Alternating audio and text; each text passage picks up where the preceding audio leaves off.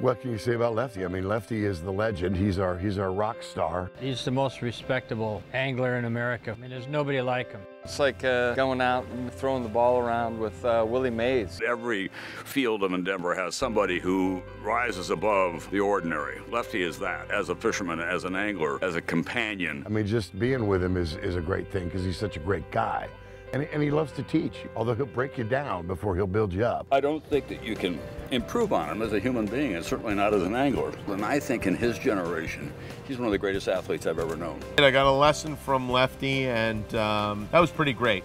You know, people who know fly fishing know that that's a, uh, a unique experience and a, and a great honor.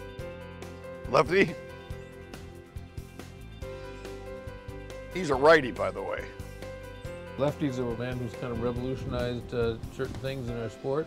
Uh, he came with pretty aggressive billing, but he, he uh, outperformed it. I just thought he was delightful. And like a lot of people who've achieved a lot, he was humorous, lively, self-effacing, ideal fishing companion.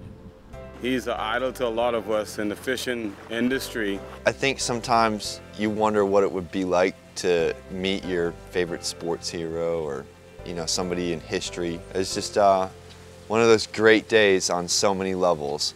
Just an amazing person. Lefty is, is one of the most interesting stories uh, as a life that I've ever been exposed to. Came from very, very humble beginnings. His dad died very, very early on in his life. And so Lefty became a trapper and a commercial fisherman and a hunter at very, very early age to provide for his family. I got out of World War II and uh, I needed a little away time, so I spent that in Central Maryland where we have lots, and at those days had great fishing, great hunting. Lefty Kreh survived the Depression. He survived the Battle of the Bulge.